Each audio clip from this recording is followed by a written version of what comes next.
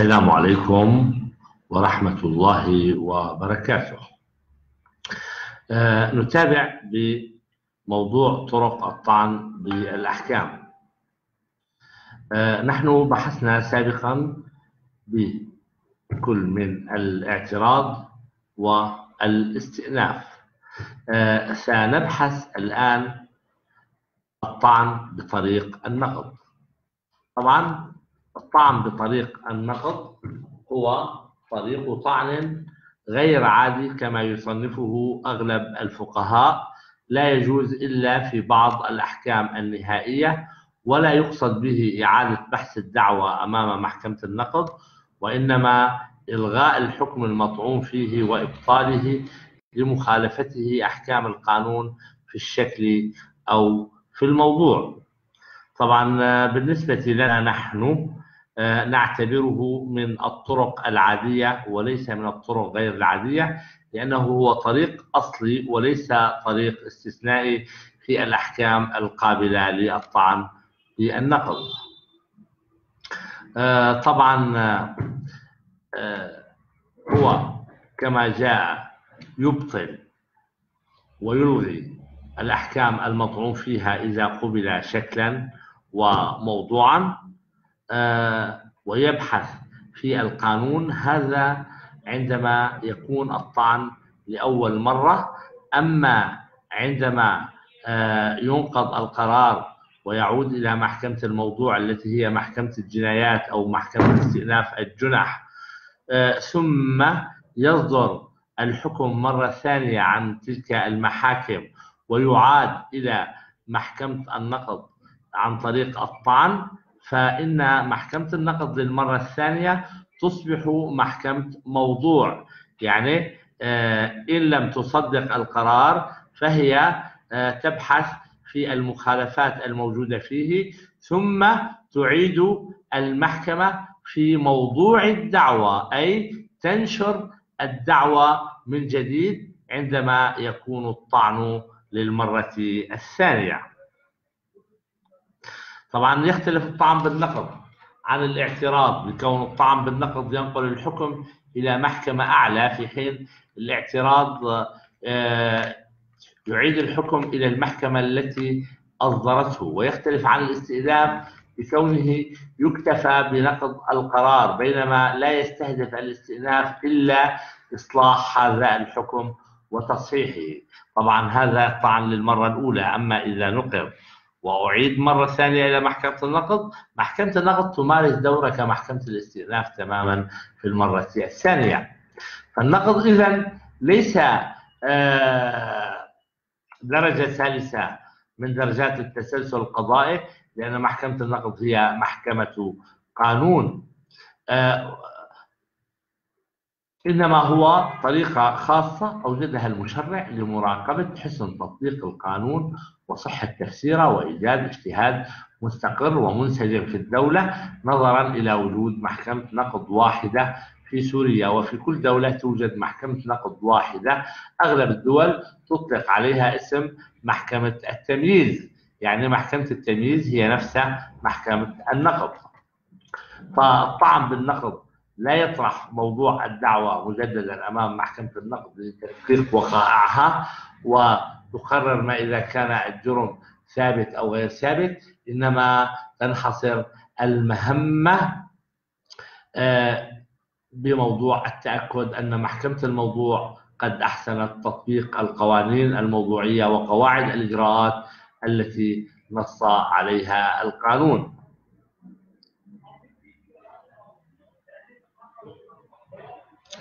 طبعا يعني بعضهم يقولون محكمة النقد هي الحكم على الحكم من حيث التطبيق القانوني طبعا نحن سنبدأ ببحث مواضيع الطعن بالنقد وهو الطعن بطريق النقد في الأحكام والقرارات القابلة لذلك الصادرة في المواد الجزائية فقط. لأننا نحن نبحث في أصول المحاكمات الجزائية. سنبحث اختصاص ثاني لمحكمة النقد وهو تعيين المرجع. ثم نبحث موضوع نقل الدعوة في المواد الجزائية. ثم نبحث جميع الطلبات الأخرى الداخلة في اختصاصها بموجب القوانين النافذة إذا الأحكام والقرارات القابلة للطعن بالنقض. الأصل أن الأحكام الصادرة عن محاكم الحكم هي وحدها التي تقبل الطعن بالنقض. لكن المشرع أجاز الطعن بالنقض في بعض القرارات التي يصدرها قاضي الإحالة وذلك استثناء من القواعد العامة. وأوجدت غرفة بمحكمة النقض خاصة للطعن بقرارات قاضي الإحالة كما أوجدت غرفة مشتركة بين قضاة مدنيين وعسكريين لبحث القرارات الصادرة عن القضاء العسكري علما أن القضاء العسكري هو قضاء استثنائي. وأيضا غرفة للأحداث الجانحين الذي هو أيضا قضاء استثنائي. فالأحكام الصادرة إذا آه الأحكام الصادرة عن محاكم الحكم. هذا منصوص عليه في المادة 336 آه، أصول محاكمات جزائية التي نصت آه، تقبل الطعن بطريق النقض الأحكام الصادرة بالدرجة الأخيرة في الجنايات والجنح والمخالفات ما لم ينص القانون على خلاف ذلك. طبعا الجنايات صادرة عن محكمة الجنايات الجنح والمخالفات في الدرجة الأخيرة يعني الأحكام الصادرة عن استئناف الجنح. كما نصت المادة 337 فقرة ألف آه لا يجوز الطعن بطريق النقد في الأحكام الصادرة قبل الفصل في الموضوع إلا إذا بنى عليها منع سير الدعوة المادة 338 من القانون نفسه قالت لا يقبل الطعن بطريق النقض في الحكم ما دام الطعن فيه بطريق الاعتراض جائزا. طيب من خلال هذه المواد يتبين أن الأحكام التي تقبل الطعن بطريق النقض هي اولا الأحكام القضائية التي تفصل في موضوع الدعوة بالدرجة الأخيرة. ثانيا الأحكام الصادرة قبل الفصل في الموضوع إذا بنى عليها منع السير في الدعوة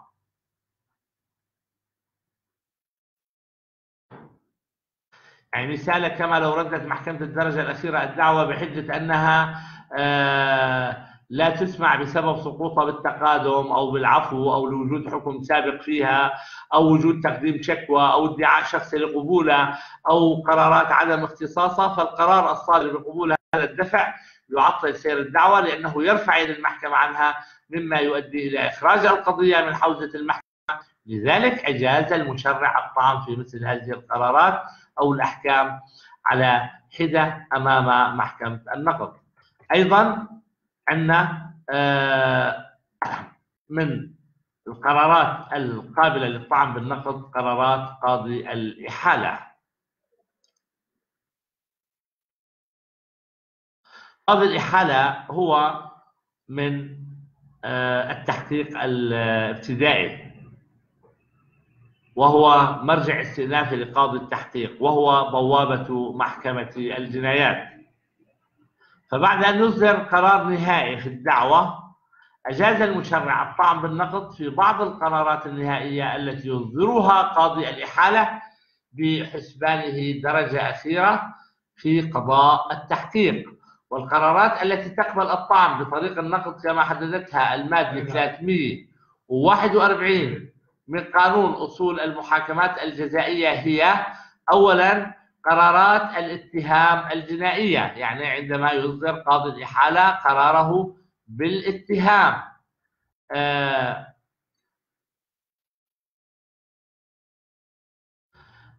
ثانيا قرارات الإحالة أمام محكمة الجنح والمخالفات. المادة 341 فقرة ب أصول محاكمات جزائية نصت على أن قرارات الإحالة أمام محاكم الجنح أو المخالفات يقبل الطعن فيها من جانب النيابة العامة والمدعى عليه إذا فصلت في موضوع الاختصاص أو بمسائل لا تملك محكمة الأساس تعديدها. يعني محددة آه، والأشخاص المسموح لهم طعن بالنقض هم النيابة العامة والمدعى عليه فقط. يعني المدعي الشخصي لا يحق له الطعن بقرار قاضي الإحالة في مواضيع الجناح والمخالفات.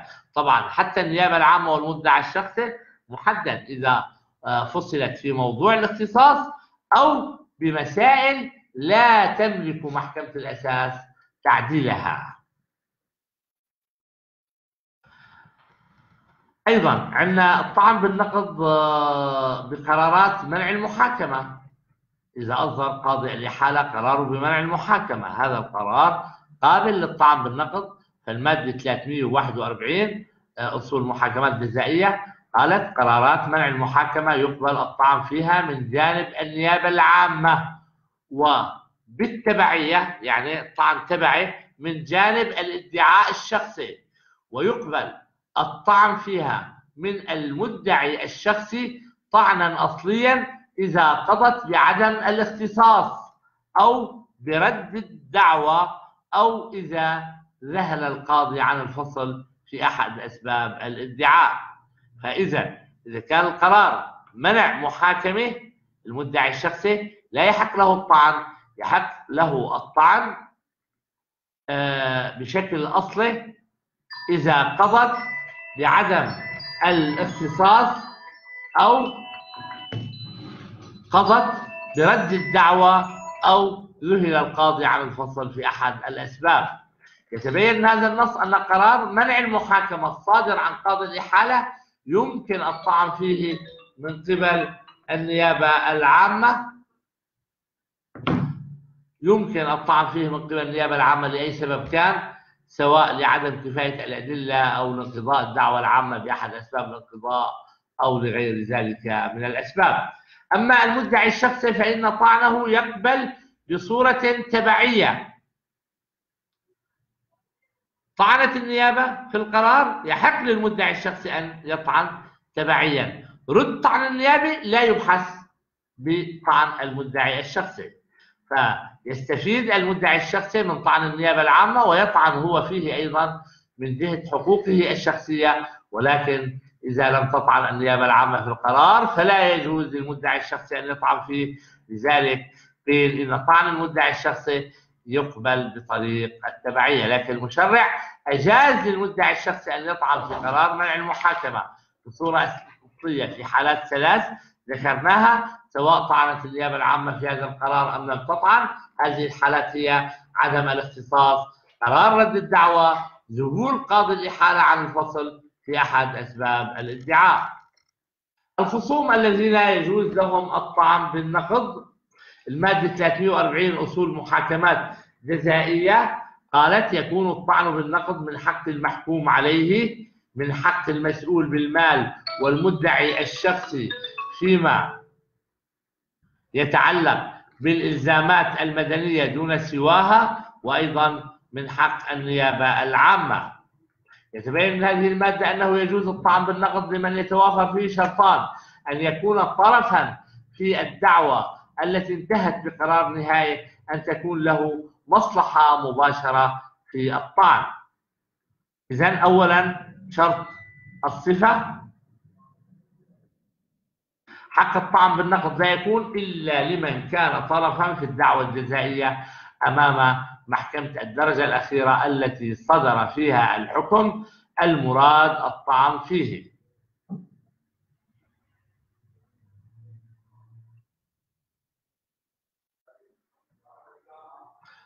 آه، شروط المصلحة طبعا بالإضافة إلى شرط الصفة آه، لجواز الطعن بالنقد لا بد أن يكون للطاعن صفة ومصلحة.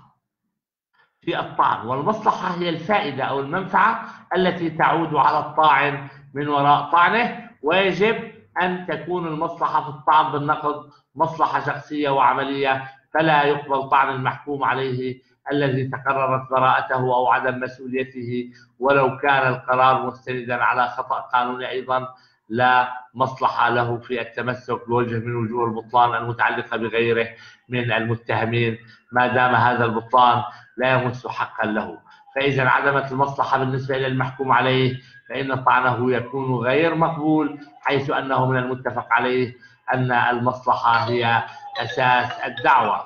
أما بالنسبة إلى النيابة العامة فالأمر مختلف.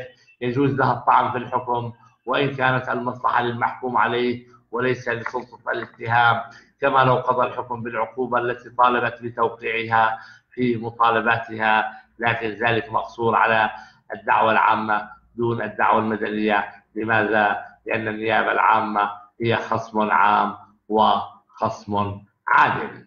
أسباب الطعن بالنقد. طبعا المادة 342 أصول محاكمات جزائية قالت إذا كان الحكم آه، واحد إذا كان الحكم المطعون فيه مبنيا على مخالفة للقانون أو على خطأ في تفسيره. إذا وقع بطلان في الحكم. ثلاثة إذا وقع في الإجراءات بطلان أثر في الحكم. أربعة الذهول عن الفصل في أحد الطلبات أو الحكم بما يجاوز طلب الخصم. خمسة صدور حكمين متناقضين في الواقعة الواحدة. ستة خلو الحكم من أسبابه الموجبة أو عدم كفايتها أو غموضها.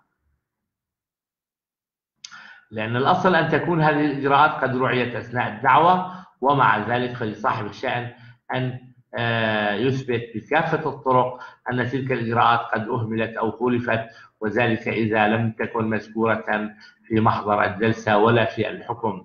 فإذا ذكر في أحدهما أنها اتبعت فلا يجوز إثبات عدم اتباعها إلا بطريقة الطعن بالتزوير.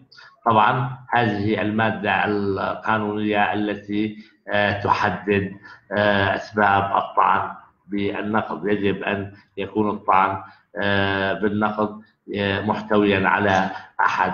هذه الأسباب وهذه المادة جاءت بأسبابها على سبيل الحصر وكلها أسباب قانونية تتعلق بالشكل أو الأساس ولا تشمل وقائع الجريمة ولا تمس حرية القناعة الشخصية لأن وظيفة محكمة النقد تقتصر على مراقبة صحة تطبيق القانون على تلك الوقائع فحسب وهذه الأسباب هي كما قلنا مخالفة القانون أو الخطأ في تفسيره؟ يعني المحكمة ارتكبت خطأ في تطبيق القانون أو ارتكبت خطأ في تفسير القانون. الحالة الثانية وقوع بطلان في الحكم. يعني يمكن الطعن بالنقض أيضا إذا وقع بطلان في الحكم المطعون فيه كما لو كان الحكم قاصرا في دباجته أي صدوره دون أن يصرح فيه بأنه صدر مثلا باسم الشعب العربي في سوريا أو آه، غفل عن ذكر واقعه جرميه أو لم يوقع عليه القاضي الذي اصدره أو الحكم عن المتهم بواقعة جديدة آه، لم ترد آه، لا ادعاء. أيضا وقوع بطلان في الإجراءات أثر في الحكم. طبعا مقصود الإجراءات الشكلية التي تضمنتها قوانين الوصول وهذه الإجراءات نوعان. نوع نص القانون نفسه على أن مخالفته تستوجب البطلان ونوع من الإجراءات لم ينص القانون على بطلانها ولم يضع لها مؤيدا ولكي يشكل الإجراء الباطل سببا للنقض لابد من أن يكون قد أثر في الحكم. أما إذا كان الإجراء الباطل لم يؤثر في الحكم فإنه لا يشكل سببا للنقض. أيضا أسباب النقض قلنا الذهول عن الفصل في أحد الطلبات أو الحكم بما يجاوز حدود الطلب أيضا الحكم بما يجاوز طلب الخصم أيضا صدور حكمين متناقضين في الواقعة الواحدة وأيضا خلو الحكم من أسبابه الموجبة أو عدم كفايتها وغموضها. ننتقل الآن إلى ميعاد الطعن بالنقض.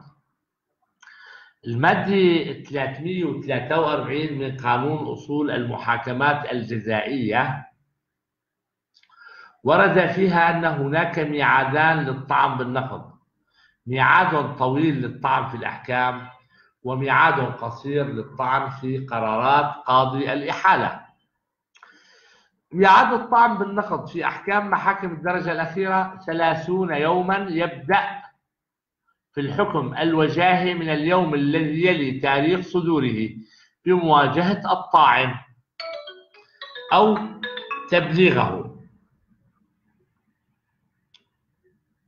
إليه إذا كان بمثابة الوجائي ويبدأ في الحكم الغيابي في الجنح والمخالفات من اليوم الذي يلي تاريخ انقضاء ميعاد الاعتراض بشرط أن يكون المحكوم عليه غيابيا قد تبلغ الحكم المذكور أو ثبت علمه به. طبعا نقول الحكم الغيابي في الجنح والمخالفات ولا نقول الحكم الغيابي في الجنايات لأن الحكم الغيابي في الجنايات لا يقبل الطعن بالنقض وإنما يقبل إعادة المحاكمة أمام محكمة الجنايات ففور إلقاء القبض على المحكوم أو تسليمه لنفسه تلقائيا تسقط الدعوة ويسقط الحكم.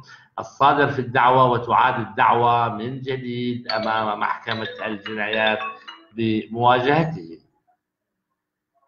بالنسبة إلى النيابة العامة ميعاد الطعن فيها يبدأ من اليوم التالي لتاريخ صدور الأحكام بحضور ممثلها ومن اليوم التالي لتاريخ وصول الأحكام الخاضعة للمشاهدة إلى ديوانها.